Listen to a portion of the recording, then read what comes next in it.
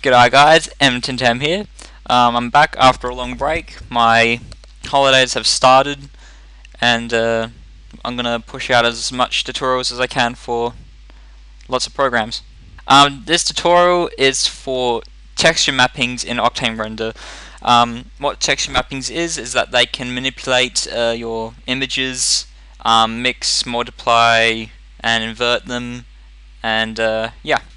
So to get to the image texture mappings, you have to go to right click, add textures, and then mappings. And then you can choose uh, a variety of different ones there. Now, um, I'm not going to be covering all of them because other ones need more in-depth tutorials on them. These are the basic or the basic ones. So first we're going to uh, start here. I'll probably upload the scene and unlike the other ones I'll remember for this one. So the first one is your Cosine mix texture. Just like texture one, uh, just like the mixed texture um, that we'll get to soon, uh, this is also mixed texture, mixed texture, but it's uh, more for uh, RGB colors, which is uh, what I found out.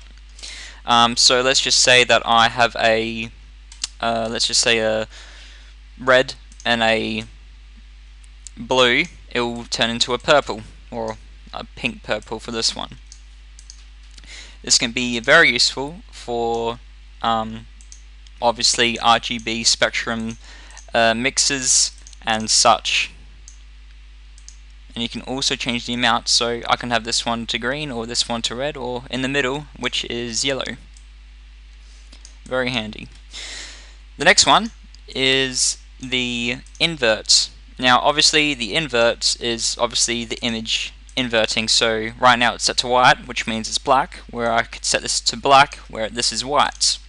This is a this is currently set to an image. So yeah.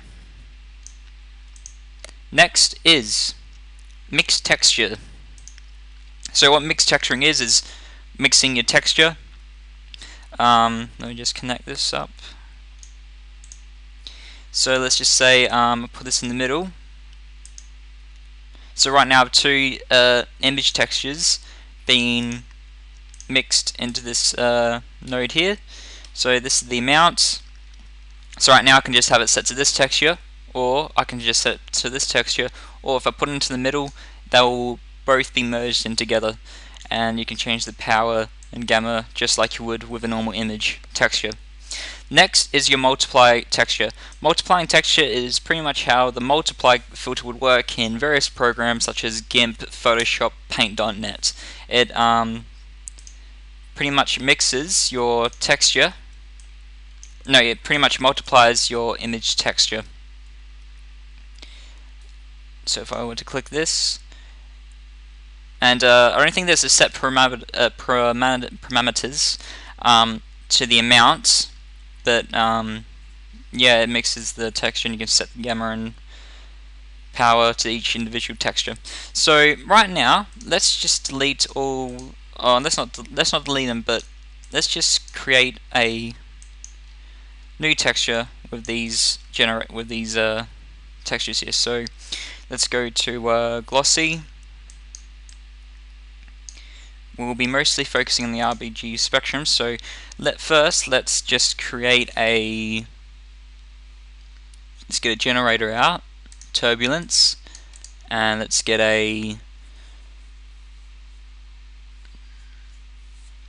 a marble, and then we'll go first. We'll go to a mix material, and then we'll get our material mix. So then we will get our we'll get our mix material.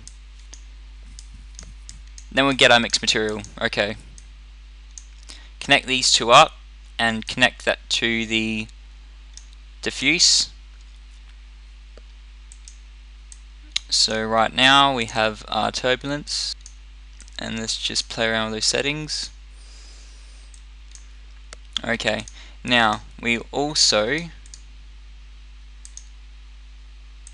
delete this, oh wait not delete that, we'll also connect that to the material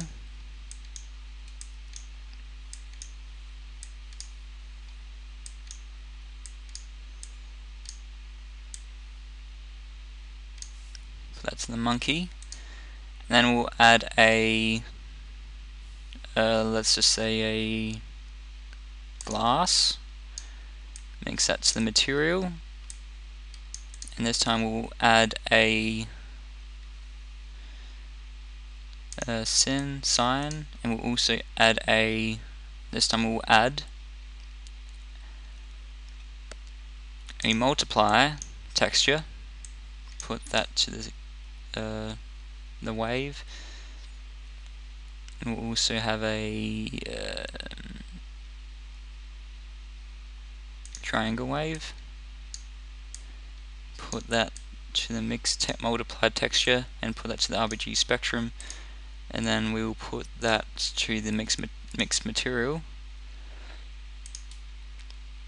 So as of right now we can adjust that, the scale to something we can see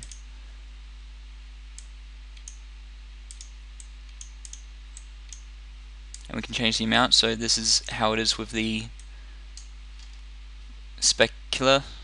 And right now we'll just change the transmission to something which is a bit more seeable.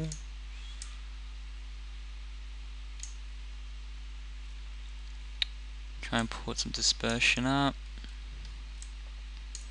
Then change the amount back to the middle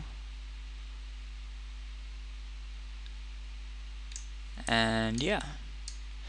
So that is pretty much the basics of your mappings and how it can be very helpful. Um, let's just get a good preview of that just so you can see it. And I'll go into the other mappings uh, in a more in-depth very soon